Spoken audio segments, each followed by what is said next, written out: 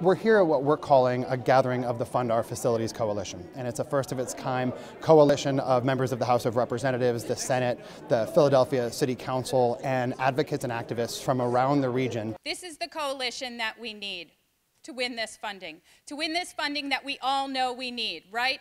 Because this is a matter of economic justice, it's a matter of racial justice. It's a matter of environmental justice. We need to make sure that there's a comprehensive focus on the facilities here in the Philadelphia school system.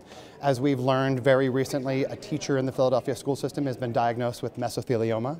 Um, we've learned very recently that as many as 170 of Philadelphia schools have asbestos problems.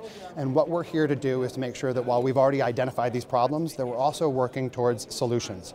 We need to make sure that the governor's office is engaged, that the mayor's office is engaged. We're working working directly with the school district. These are problems that can be solved, but this is an emergency and it needs to be solved immediately.